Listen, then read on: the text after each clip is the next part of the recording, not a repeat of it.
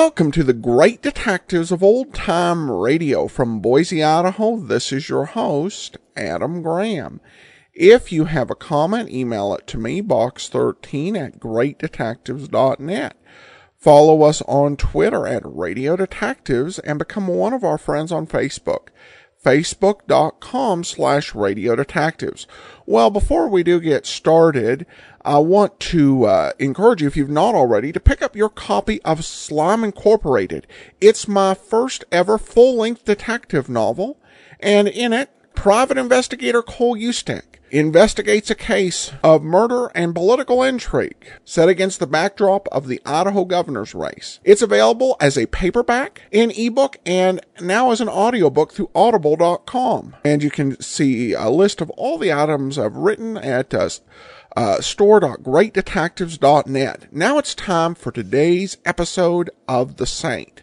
The original air date is April the 15th of 1951, and the title is Strange Bedfellows.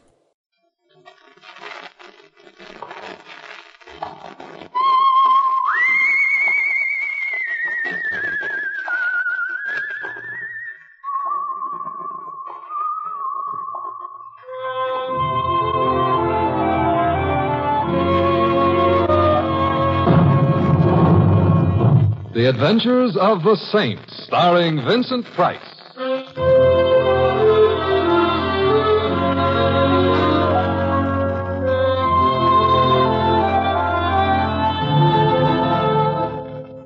The Saint, based on characters created by Leslie Charteris and known to millions from books, magazines, and motion pictures.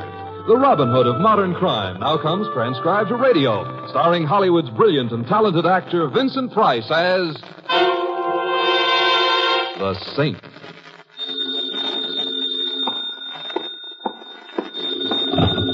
Hello? This is long distance. I have a call from Mr. Simon Templar. This is he. One moment, please. Hello, Kenton. I have your party on the line. Hold on, please, Mr. Templar. Mayor Towers is calling. Hello, Templar. How are you, Mr. Mayor? How's your campaign coming? Templar, could you get up here to my home right away? I know it's asking a lot, but this is urgent. Most urgent. Certainly. What's it all about? Well, I, I don't like to say too much over the phone, Templar, but something has come up which could very well cost me my office.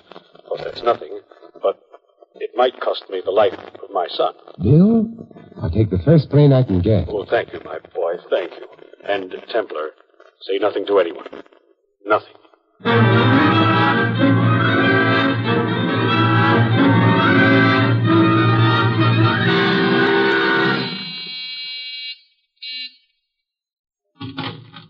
Yes? Mayor Towers sent for me, uh, Simon Templar. Oh, come in, Templar. Come in. Thank you. Good of you to come so promptly. We appreciate it. I'm J. Chase Finley, the mayor's confidential secretary. Will you come right this way, please? Oh, thank you.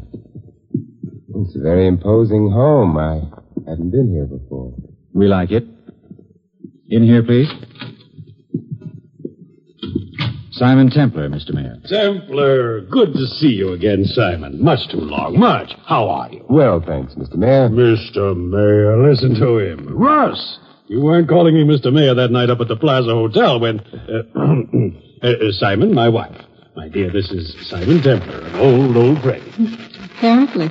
Simon, my wife, Prudence. How do you do? Married five years now, since you and I last saw each other, Templar. Sit down, sit down. Um, my dear, uh, business. You, I'm getting worried, Russell. I've told you, my dear, there's nothing to worry about. I can't help it. I sometimes wonder, Prudence, if you would be as worried about me if I stayed away a few days. You wouldn't stay away a few days, Russell. Good night, Mr. Temple. Good night, Mrs. Towers. Good night, Mrs. Towers. Don't get up, Finley. Well, our, our city has a very beautiful first lady, Mr. Mayor. Uh, thank you. As you see, Templar, I haven't told her about Bill.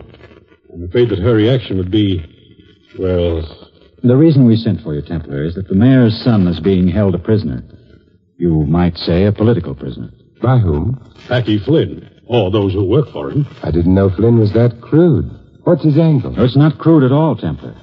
As you know, the mayor's been forced into this special election by false charges of graft and tie-ins with gangsters.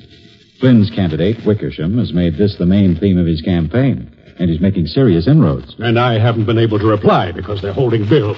It's horrible. Horrible. Bill is the price of silence. Exactly. If we reply to the opposition's charges by showing his link with Packy Flynn, the head of organized crime in this city, well, Bill might be.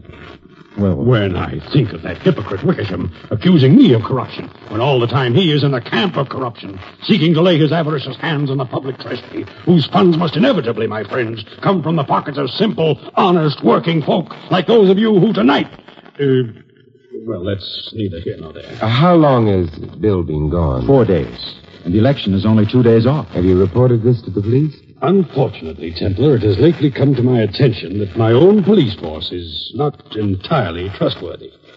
Corrupting hand of Packy Flynn has touched that also. After the election, I fully intend, well, providing that I am re-elected, of course. Also, Templar, a clumsy handling of this thing might be extremely dangerous for Bill. Exactly.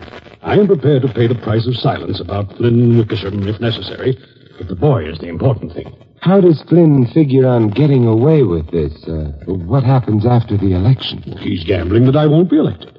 With Wickersham in power, any charges we might make would have little chance of success. I get the idea. And you want me to find Bill if possible. I should be everlastingly grateful. My gratitude is not a thing to be taken lightly, Simon. I'll do my best. Um, how old is Bill now? It's been years since I've seen him. 24. Find him, Templar. When organized gangsterism waxes so bold, this is not the America I know and love. And this is not the America that those hardy pilgrims, landing on that rocky, spray-swept coast so many years ago, envisioned in shining imagery as... Well, that's, that's neither here nor there. Find my boy, Templar. I'll do my best, Mr. Miller.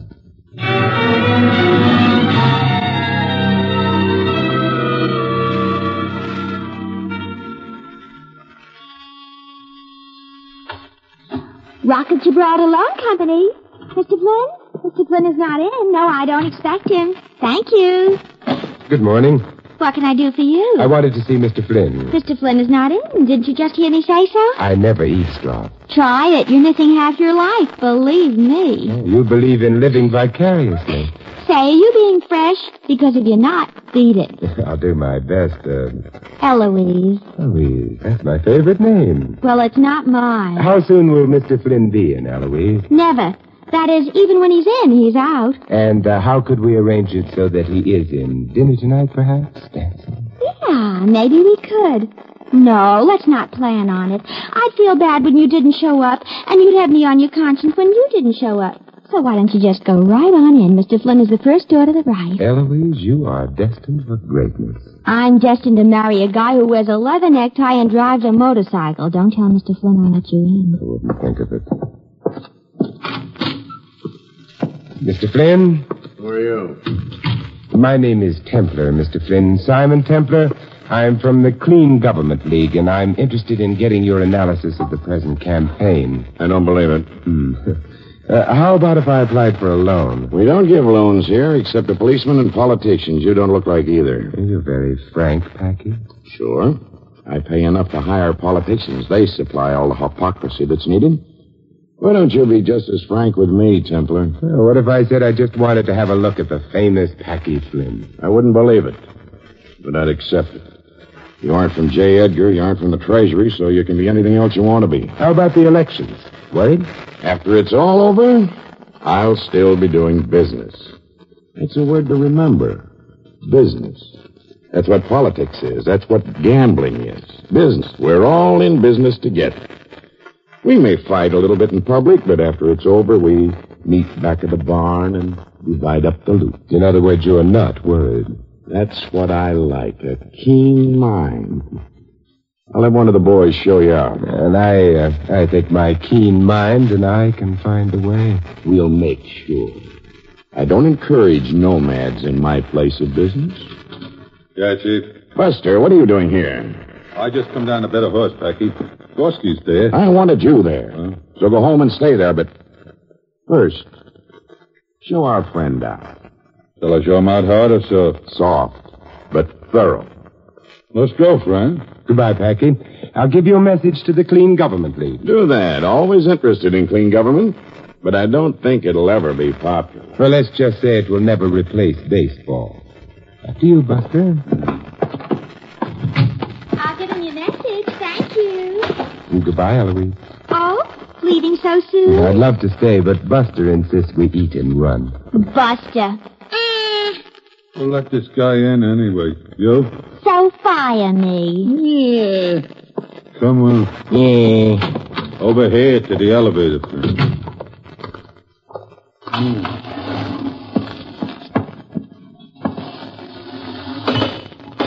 You interested in horses, Buster? Mm, I got some information this morning on something at Bay Meadows. No, I never bet tips. Got my own system. Mathematical.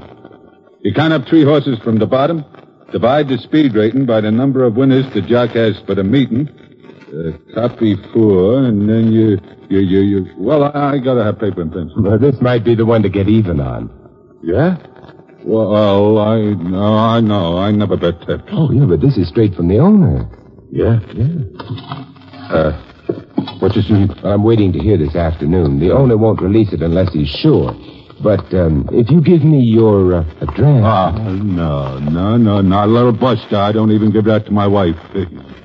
So long, friend, and don't try to tell me. Why should I? Take it easy, Buster, and, uh, oh, say, you haven't got a match, have you? Yeah, sure, sure. Yeah. Oh, thanks. And friends, yeah. stay away from Tips and Packy Flynn. With horses, you wind up in a barrel. With Packy, the barrel is full of concrete. Buster, you kill me. Huh? Oh, oh, oh, yeah, yeah, that's a good one.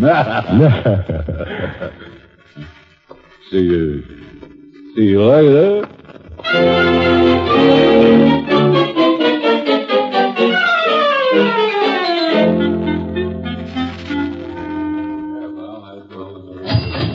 Well, what'll it be, Mr. Temple? Yeah, I've been pounding the pavements, George. Some foot lotion, huh? Foot lotion? Yeah, over ice. Oh, you had me worried. Foot lotion. Over ice. Well, here you are. Yeah, thank you. Uh, and now some for the left foot, George. Okay.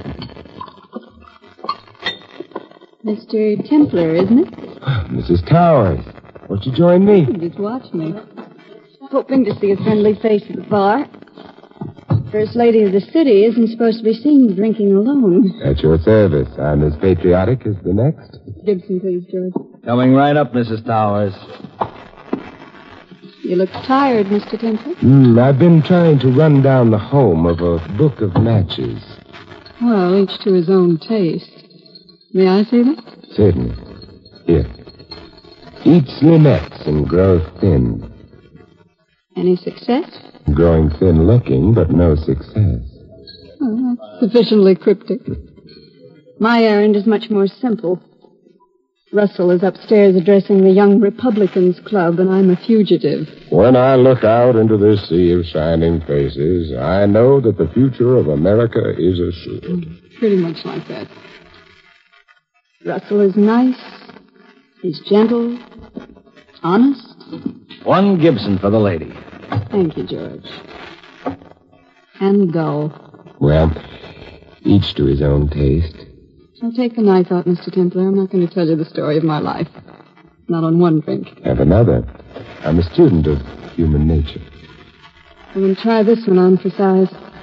Why does a girl marry at 18 to a boy 20 who's got just as much money and just as little aim in life as she has?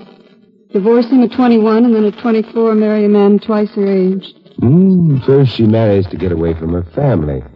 Then she marries a man old enough to be her father to return to her family. Figuratively, that is.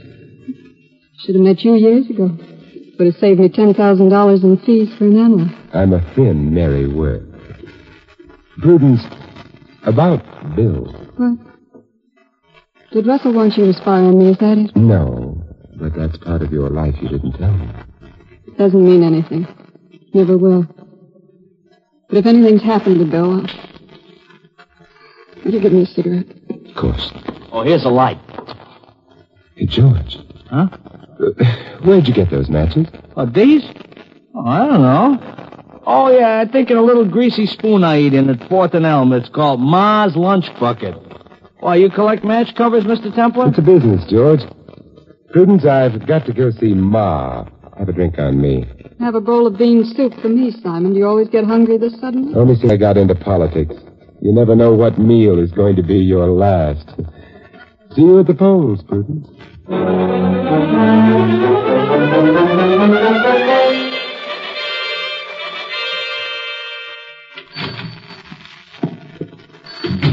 Ma!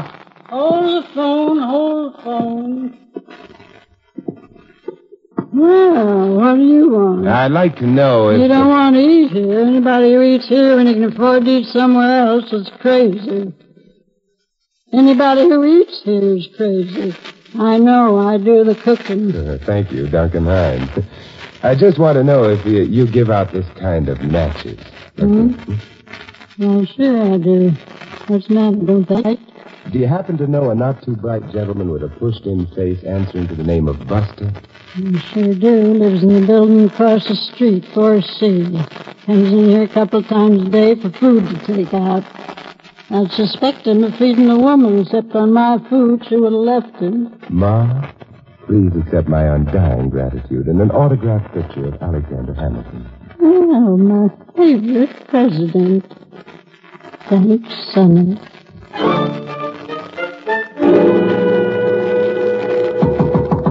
Oh, oh, oh, who is it? Oh, what? Yeah, yeah, what? Yeah, yeah? Oh. Oh, it's, oh, it's you. Well, beat it. I was just passing by, Buster, and I thought I'd drop in and take Take your foot out of the door. I don't want to get rough. I got confirmation on that tip I mentioned, Buster.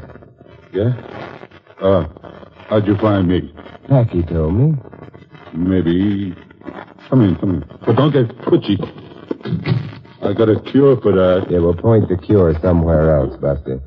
Blue girl in the night at Bay Meadows. Look there. You sure? It's a boat race, Buster. The jocks are all carrying oars instead of whips. Yeah, them crooked jocks. They cost me plenty, even with my sister. Better hurry, Buster. The ninth is just about off. Well, hmm, if you're sure, hand me the phone, will you? Sure. Hated to do it, Buster. But I think it was a bum tip anyway. Hey, Bill. Bill, are you in there? Bill.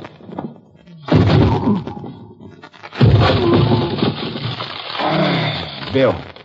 Bill, now hold it. Wait a minute. I'll, I'll take out the gag.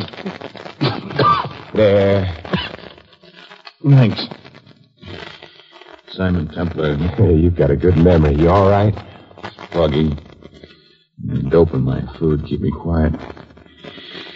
Who sent you, sir? Your father, Bill. Oh? Yeah, we better get out of here if you can make it. Yes, I can. Uh, it's all right. It's helped me a little. Sure. We'll take you over to your father's place. No, Mr. Templar, I got my own apartment. I need to get a good night's rest before my father sees me. Get all upset. How if you say so, Bill? Hey, what day is it? Election isn't over. No, no. The election's tomorrow. Oh, that's good. You want me to phone your father? No. I'd like to call him as soon as I get home. Let's go. You sure you'll be all right at your place, Jim? Sure, I'll be perfectly safe. Besides, I got a gun there. Yeah, so long, Buster. Thanks for the hospitality.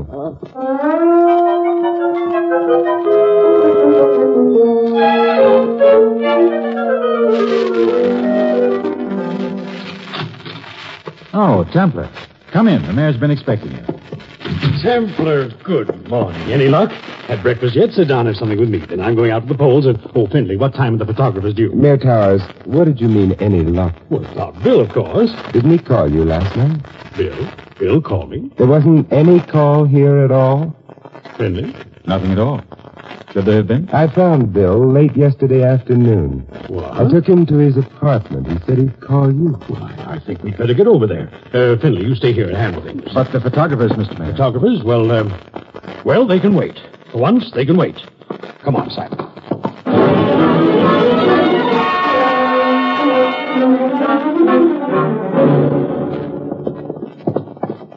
Templar, I'll never forgive myself if anything's. I mean, if Bill. Oh, it's probably nothing. He was pretty well knocked out from dope. Maybe just fell into bed and is still sleeping. Yes, that's it. That, that must be it. He's still sleeping. Oh, here we are. Bill? Templar, do you think that. Let's try the door. Hmm? Ah, it's open. Bill? Bill? Where's his bedroom? In here, I think. I, I've been here so seldom. Well, there he is. Bill, Bill, wake up. Look at him. Even as a kid, you couldn't get him up with Wait a minute, Ross. Bill. With, with his own gun. Why, Templar? Why? I don't know. I'm not even sure he did it. Sit down. But the, the gun. There in his hand. Come away. Politicians shouldn't have children, Simon. They, shouldn't. You, you never get to know them. You, make appointments to see them the following Thursday. And then one day they're grown up and they're strangers to us. But Bill would have made a great politician if he wanted. He had the makings for it. I, I, I remember his grade school graduation. Oh, it was fine. Polonius's advice to the is neither a power nor a lender be.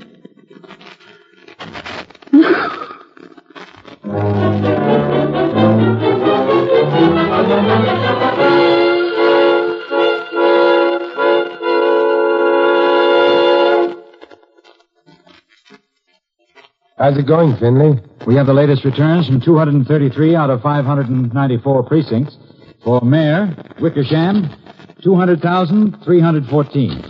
Towers, 324,108. Congratulations on a winning campaign. Thanks, but we expected it. Did you?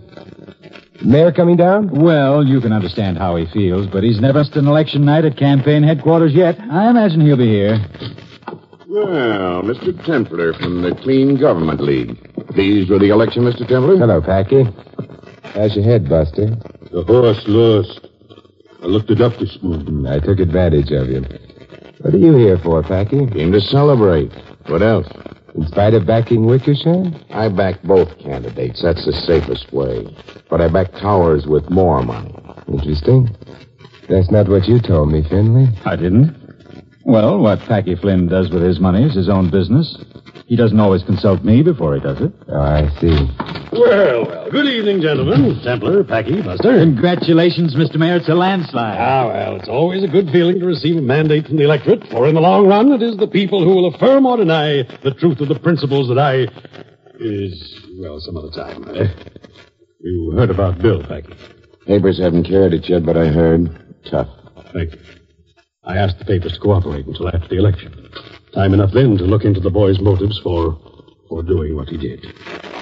Finley, have you found Prudence yet? You know, Mr. Mayor. Have you seen her, Templar? I haven't, no. Well, she'll she'll be along. She'll she'll be along. Was there anything you wanted, Templar? Just to be in on the celebration with the rest of the family. Huh? Oh, oh, certainly, certainly. Uh, do we have a bottle, Finley? I I don't feel much like it. Prudence, my dear, where have you been? I wanted you to be with me today. I I needed you. His Honor the Mayor. Sit down, my dear. Oh, I'd rather stand. Victory celebration. Another glorious mandate from the people. Given the grand choice between two thieves, they chose the one with the most experience. Prudence. I think you'd better leave, Templar. Do you? I don't think so. I think it's fair that the people have at least one representative present. Templar, you may not be quite as stupid as I thought. Or as they thought. Or as they thought I was. Prudence, who has been talking to you? Bill, last night. He called me and I went to his apartment. And that's the first time, if that's what you're thinking, Mr. Mayor. Get her out of here, Finley. Let her talk. Thank you, son. I'm interested myself. And thank you, too, Packy. You know why you were brought in on this lovely affair, son. I'm putting two and two together. Ostensibly to find Bill, who was kidnapped by you, Packy. That's interesting, isn't it, Mr. Mayor? But he wasn't held as a hostage for your silence, Mr. Mayor. He was held until after the election because he had found out things about his father and Packy Flynn. His fine, honorable father. He was threatening to go to the voters with it. But it was just until after the election. After then, I could have persuaded him. He wouldn't have said anything then. I, I, I, I could have reasoned with him. So a little parental restraint until then. And if he talked later on, I was your protection. Flynn was the villain, and I was looking for Bill on your behalf. Only I wasn't supposed to find him. Or maybe if Bill talked too much, you would have tried to throw Flynn to the wolves, using me as evidence. Oh, well. No, no, no, Packy, that wasn't it. Go on, Saint. Only I found Bill. That's what disrupted things. You've got to understand, Temple, that when you're in politics, you've got to make deals. You know that. Why, everybody makes deals. It's, it's, it's just business. Sure, sure, I understand. But Bill didn't. No, Bill didn't. He never would. He thought the poor, dumb, long-suffering voters who pay the bills should have more for their money than the choice between two thieves. And he was going to see that they got it. Prudence, we can talk later about why Bill, why he did what he did. Why, he killed himself? Do you think he killed himself, Simon? No. Templar. He didn't. When I talked to him last night, he was alive. He knew what he had to do, and he wanted to live. Well, then, who? Not me. Not Packy Flynn, good people. I stuffed their mouths with dollar bills. Much cheaper in the long run and just as sure. But you couldn't stop Bill's mouth, Packy. True. But then he wasn't a politician. Buster, uh, I trust you have a good alibi for last night. Well, give me time and I can get one. I don't think you'll need it. Bill wouldn't have let you into his apartment. He was killed by someone he knew. It was a good act you put on this morning, Mayor. But you knew last night that I found Bill. What? Packy would have called you right away. Oh. Prudence, you don't think that. You, you can't. No, not you, Mr. Mayor. You sent someone to reason with Bill. Your hatchet man, J. Chase Finley. Be very careful what you're saying, Temper. I'll try to be, Finley. Your reasoning didn't work. Bill probably ordered you out with his gun. There was a fight, and you shot him. Then rigged it to look like suicide. It's your word against mine and the mayor's. Finley's right, Your accusations are not only in bad taste, they're also. You. You, Your Honor, the mayor. You killed him. Maybe Finley pulled the trigger, but it was you who killed him. Killed him with the years of neglect, of hypocrisy, of building up an idol of the people, and then when he found out, you delivered him into the hands of thugs. You stood aside and let Finley murder him, and now you're backing Finley. Is that your son? You did. Prudence, please. Maybe it was ill advised of me not to turn Finley over to the police immediately, but. Towers, you're throwing me to the wolves? Well, after all, while I don't doubt that it was or might have been unintentional on your part. Why, Bill. grab him, Buster. Sure. Very well done, Buster. Goodness, this will all come out. It, it, it's merely a matter of adjusting ourselves. You see, I, ne- I never explained about politics before because I, I, I didn't think it was necessary. Maybe if we go away for a while, we. Prudence! Look, Towers. I'll talk to you later, Flynn. Later.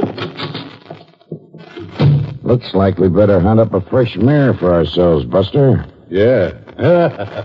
You're pretty sure you can buy up another one in the open market, huh? Packy? You're a lot more where this one came from, Saint. And the money is right in my hip pocket. How about the voters? The voters? Who are they? Voters are people. The people eventually catch up with you, Packy. It may take them a while, but they will. They always do.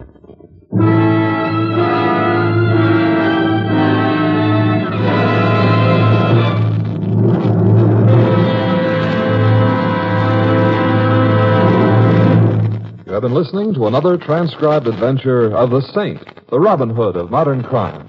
Now here is our star, Vincent Price. Ladies and gentlemen, can you imagine tons of earth and stone crushing down on your home? Can you visualize floodwaters roaring through your front door? Can you imagine a forest fire sweeping your home and possessions in its path? Could you and your family be stricken in an epidemic so severe that it is a real disaster? It could happen somewhere in the United States this year.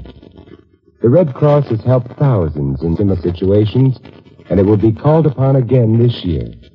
To be prepared for emergencies such as these, the Red Cross asks you each year for funds. Won't you sit down right now while you think of it?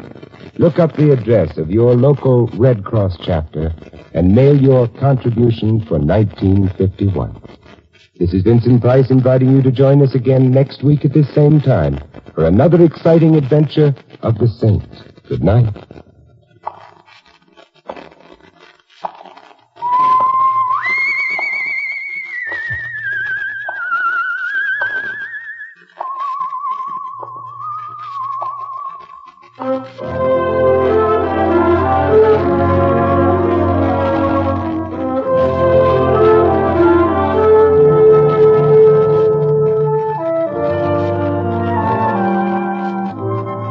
Script of The Saint was written by Dick Powell.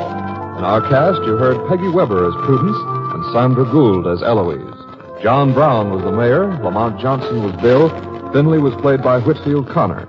Mr. Flynn was Ken Christie, Ed Max was Buster, and Jerry Hausner the bartender.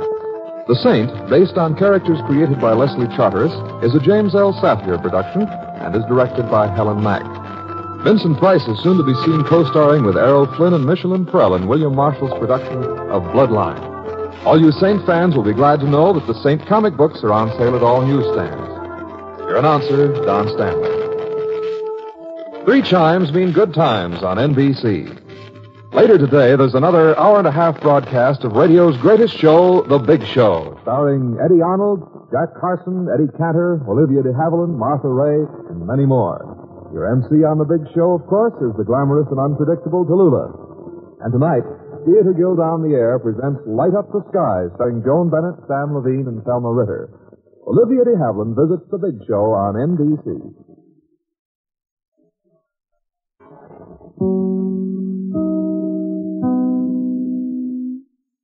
Welcome back. Well, an excellent uh, performance by John Brown as the mayor. Uh, one of those really great um, radio actors, um, probably best known um, for uh, uh playing uh, Broadway on the Damon Runyon Theater, and uh, also playing Digger O'Dell on The Life of Riley. Uh, and he played that role over television as well. Um, and another one of those episodes, uh, really, um, uh, you know, I mentioned this when we did the episode, uh, set at the university. You didn't really see this sort of, uh, biting social commentary in, uh, detective shows like The Saints, uh, to the same degree that you uh, heard in these couple episodes. So these are somewhat uh, remarkable. And we're getting some of the very best uh, Saint scripts as we're getting to the end of uh, Vincent Price's run on the Saint. While we do have uh, five more episodes with uh, Tom Conway in the lead role, um, we actually only have uh, three more Vincent Price episodes after uh, this week. Uh, so uh, the series so far seems to be ending uh, as far as Vincent Price with a, on a very strong note. All right, listener uh, comments and feedback. And uh, we have a comment regarding episode 1611, the formula for death. Uh, Stephen writes in on Twitter, enjoyed this episode of The Saint. Lots of surprises, and it's always great when William Conrad shows up. Definitely. And uh, we will look forward to another episode of The Saint next week. Be sure and join us next Monday for that. Tomorrow, it's an episode of The Adventures of Ellery Queen. In the meantime, send your comments to box13 at greatdetectives.net. Follow us on Twitter at Radio Detectives